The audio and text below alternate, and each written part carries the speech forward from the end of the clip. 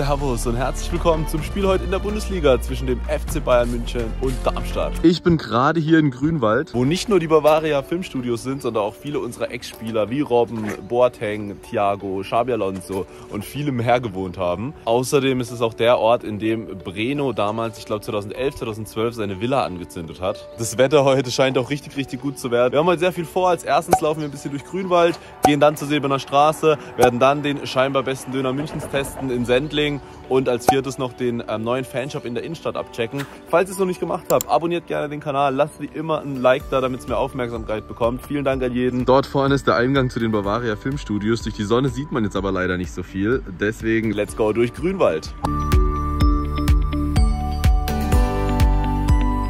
Allein auf dem Weg hierher, die Häuser sahen schon richtig krank aus. Ich bin gespannt, wie es hier im Grünwald aussieht. Ich fahre hier jetzt ein bisschen durch. Let's go!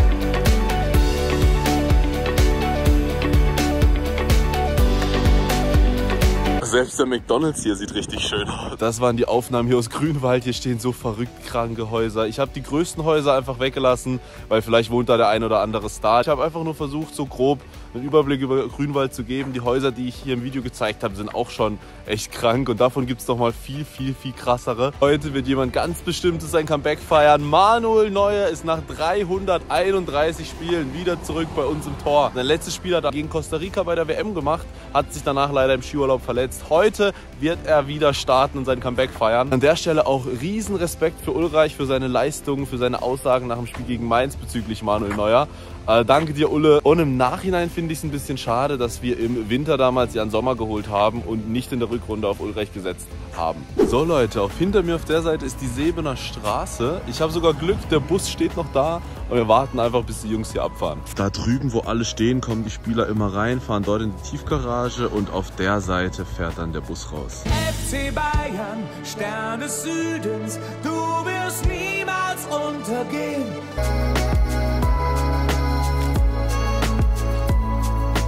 Packmas!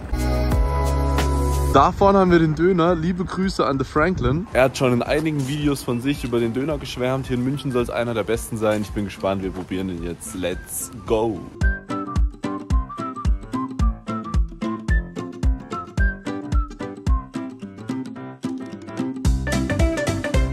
Der Döner hier ist ungelogen einer der besten, die ich je in München gegessen habe. Es schmeckt richtig gut. Normalerweise sind die Döner, die so voll sind, immer sehr, sehr schwer zu essen. Bei dem überhaupt nicht. Man kann es perfekt zusammenklappen, perfekt reinbeißen. Es schmeckt richtig, richtig gut. Kommt gern hierher. Checkt die Jungs ab.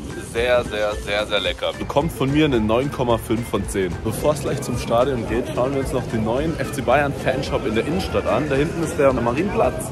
Und außerdem habe ich heute Morgen im Zug den Gewinner des Matchhalls aus Istanbul ausgelost. Thomas Stepper, herzlichen Glückwunsch. Schreib mir gerne hier drunter einen Kommentar äh, mit deinem Instagram-Namen, damit ich dich bei Instagram anschreiben kann. Oder schreib mir direkt auf Instagram. Hier hast du meinen Namen nochmal eingeblendet. Das ist ja komplett verkehrt. Die Stadt ist schon voll mit Bayern-Fans hier im Klinsmann-Trikot. Und hier ist ja bisher der kleine Bayern-Store. Und genau auf der anderen Seite wird bald ein neuer, größerer Store eröffnet. Grüße an Robin, danke für die Info. Und in der Stadt habe ich Nils und Sophie getroffen. Was tippt ihr später? Äh, ich sag 4-0 für die Bayern. Okay. Außerdem ganz, ganz liebe Grüße an Andreas, Leon und Justin, euch drei und an Maxi, Lukas und Andreas. Nächste Station, Stadion. Heute also gegen Darmstadt. Die letzten acht Spiele haben wir alle gewonnen. Die letzten, von den letzten vier Spielen allerdings drei nur knapp mit 1 zu 0. Dennoch glaube ich, dass es heute eine klare Sache wird. In der Tabelle sind wir noch auf Platz 3. Stuttgart spielt heute Leverkusen, morgen zu Hause gegen Freiburg. Ich glaube nicht, dass sie da verlieren werden. Was tippt ihr da? Und in circa einer Stunde geht's los. Let's go. Wir sind heute in Block 324. Unsere Südkurve füllt sich langsam und gleich kommt hier zum ersten Mal nach zehn Monaten wieder Manuel Neuer raus.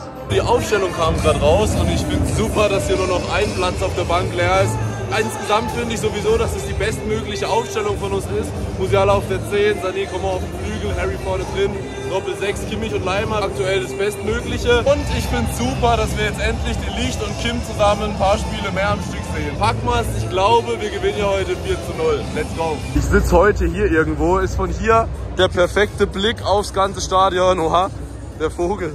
Und bei den Darmstädter noch nicht viel los oben im Block. Wir sehen's da, Manu kommt gleich raus. Hier klatschen auch schon einige.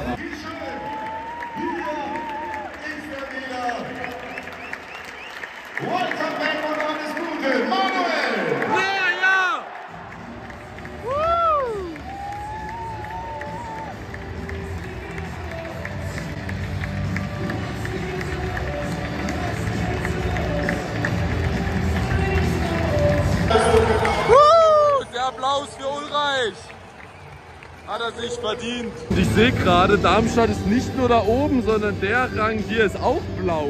Und jetzt kommen unsere Spieler rein. Hier ist unsere Mannschaft.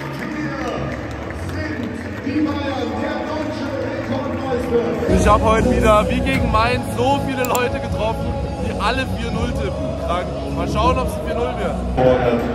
Jetzt hört man oben die Darmstadter, die ihr Team in die Kabine verabschieden. Ist die Mannschaftsaufstellung des deutschen Rekordmeisters, die Mannschaftsaufstellung des FC Bayern. Wieder im Tor, unsere Nummer 1, Manuel! Neuer! Und die 42, Jamal! Musiala! Forever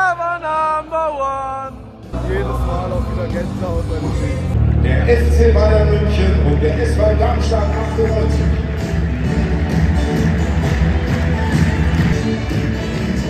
Sieht auch krass aus bei denen da oben. Let's go! Bayern! Und da ist auch wieder Manu, endlich wieder im Tor, sein erster Ballkontakt. Wenn immer zu dir stehen, immer vorwärts FCB. Jetzt. Oh Mann! Oh, was für ein Fehler. Kimmich hat tatsächlich eine rote Karte bekommen. Wieso das? Aber außerhalb vom 16er. Gerne noch eine Wiederholung gesehen, aber ich weiß nicht, war es ein Freistoß? Schreibt gerne in die Kommentare, keine Ahnung. Den hat er, Neuer hat ihn, Neuer hat ihn. Ja. FCB! FCB! FCB! Jetzt hat Tuchel auch noch Geld bekommen. Was geht ab? Wir spielen einfach ab der. Wie viele, wie viele Minute? Ab der sechste, siebte Minute. Wir spielen zu zehnt. Ja, schauen wir mal. Oh, die Darmstadter kommen zum ersten Mal richtig durch. Und Hoffenheim schießt es 1 zu 0. Ja, Mann. Ja, jetzt haben die Darmstadter Räume. Hast du. Hey! Mega Pass, aber der Torwart der Darmstädter ist da. Hüpf Bavaria, hüpf alle, alle! Hüpf Bavaria, hüpf! Hüpf Bavaria, hüpf! Hüpf Bavaria, hüpf!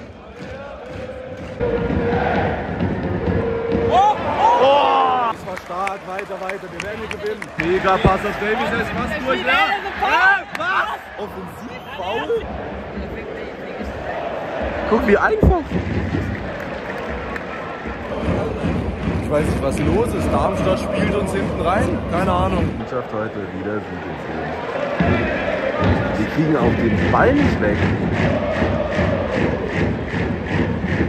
Ich hoffe, wir verlieren das hier nicht 0 zu 1. Ja, weiter! Nein, steck doch! Ich bin mal gespannt. Eigentlich muss es einen Elfmeter geben. Es wird überprüft. Ach, alles klar. Kaputt. Ihr macht unser Sport kaputt. Ihr. Also, wenn es Vergehen außerhalb ist, muss es Rot geben. Ach,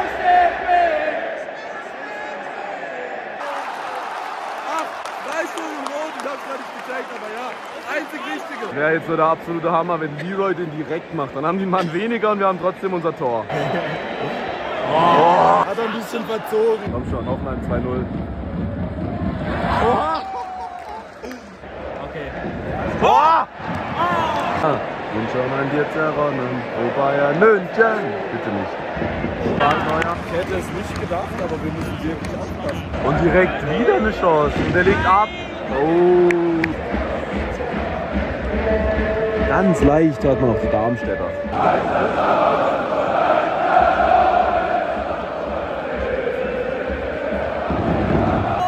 Er hat ihn, hat er ihn.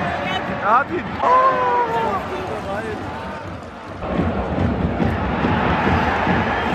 Könnte sein, dass es ein Handelfmeter gibt für Darmstadt, aber der Schiri sagt, es war, also der Arm war angelegt, also gar nichts. Perfekt, weiter geht's. Die nutzen die Chancen von Darmstadt nicht so gut, aber dass sie einfach mehr Chancen haben als wir. Wir müssen uns steigern. Ich weiß nicht, was mit uns los ist. Sie spielen wie in Istanbul, nur diesmal ist keine Lautstärke da. Wir sind durch mit diesem Pass, das ist 1 zu 0. Ja, Manu! Stark gemacht.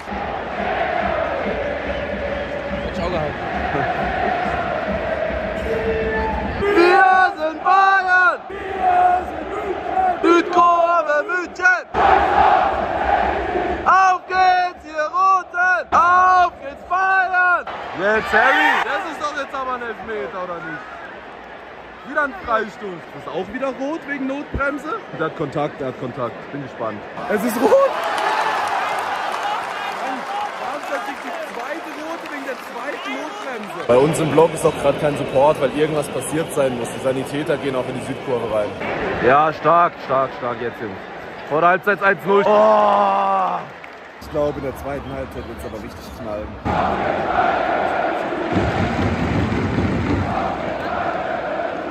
Jetzt, wir haben eine gute Chance. Ja! Ja, so wichtig vor der Halbzeit. Wie soll es auch sonst sein? Das Tor war leider abseits. Also das war klar abseits. Ja, gut. Bayern München! Kurzes Fazit zur ersten Halbzeit. Wir spielen gefühlt wie in Istanbul. Nur diesmal ist der Lärm nicht die Ausrede. Drei rote Karten in der ersten Hälfte und Kimmich wird gegen Dortmund fehlen, ist mir gerade aufgefallen. Boah, schwierig, weil wir haben auch keinen zweiten Sechster. Goretzka ist auch noch verletzt. Ich denke trotzdem, dass wir heute hier gewinnen werden. Darmstadt hat hier zwei rote Karten. Ich glaube auch, dass wir in der zweiten Halbzeit aufdrehen und dass das dann wird. Aber ein Wort zur Stimmung heute, die ist gar nicht gut. Ähm, bei solchen Spielen an alle Leute, die meine Videos schauen, steht auf, singt mit, auch wenn ihr der Einzige im Blog seid. Ich versuche auch so viel wie möglich mitzusingen. Lasst uns auch in solchen Spielen eine gute Stimmung in der Arena haben. Ich freue mich auf die zweite Halbzeit. Let's go. Wir spielen jetzt auf unsere Südkurve. Das wird noch. Wir gewinnen hier noch. Jetzt schieß! Bayern München alle!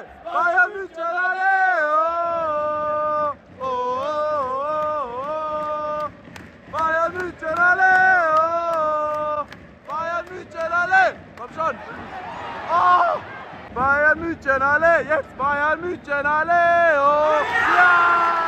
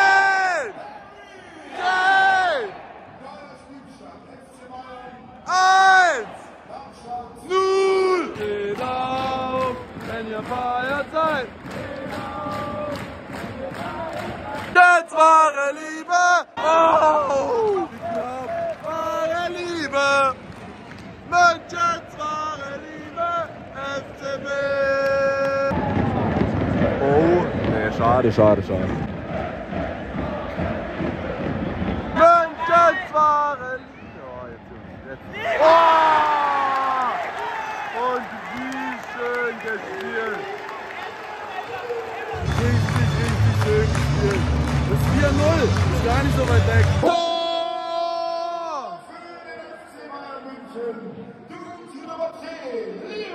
Sahne!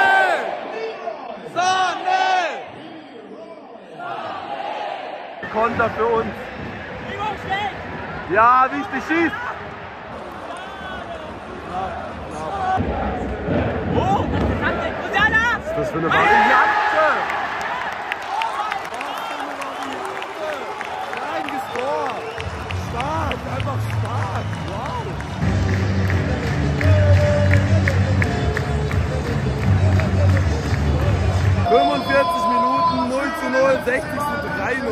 Musiala!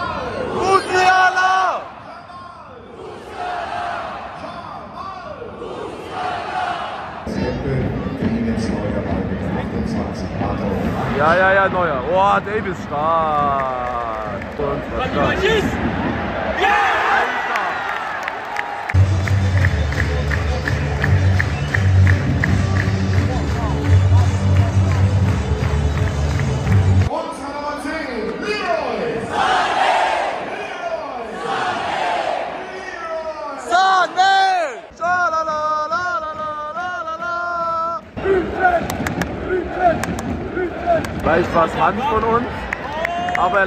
Weiterlaufen. Oh, Harry Kane! Alter! Was für ein geisteskrankes Aber nein, es ist angelegt. Sie können Harry doch nicht das Tor wegnehmen. Schaut euch das an. Dass wir das erleben dürfen, Freunde, 68. Spielminute. Was für ein Tor für den FC Bayern München. Unsere Nummer 9, Harry. Kane! Kane! Neuer Spielstand, FC Bayern. Darmstadt. Null! Wir hören noch gar nicht auf. Die spielen so, als hätten sie Lust auf nochmal zwei, drei Dinger. Das Tor mal auf richtig. Alter, erste Halbzeit, 0 zu 0. Wir sind ja in der 71. Wir führen hier 6 zu 0. Ja, Wahnsinn.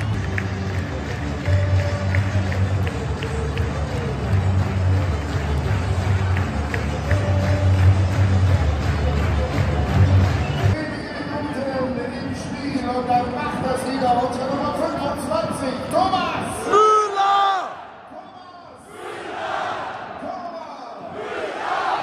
3-1, geil. Ja, ja, schade.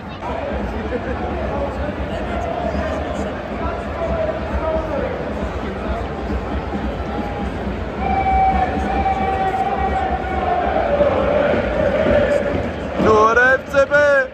Nur FCB! Doppelpass.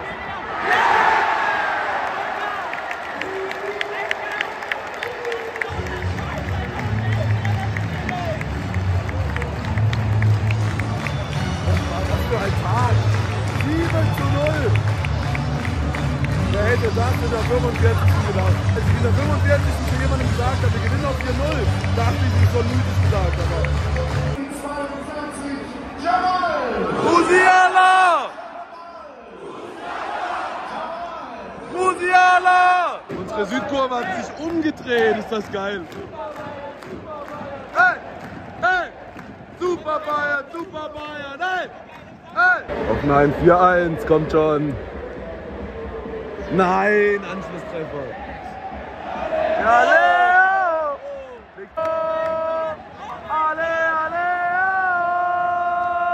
Ich war leider zu langsam. Tor von Kane. Wäre ein Meter geworden, aber es war ein Tor. Saustark. Wir spielen so stark. Da sieht man es nochmal saustark von Leroy. Schaut euch das an. Er geht durch alle durch. Passt rüber auf Harry. Und Harry bleibt hängen, aber macht trotzdem noch das Tor. Es macht Spaß. Es macht einfach Spaß. Erste Halbzeit 0. Zweite Halbzeit 8. Kane! Aus. Ja, schade, Mathis. Nächstes Mal geht er rein.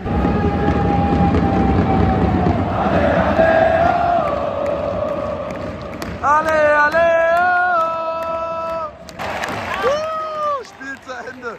Wir gewinnen hier einfach 8 zu 0. Mir fehlen Worte. Niemals untergehen!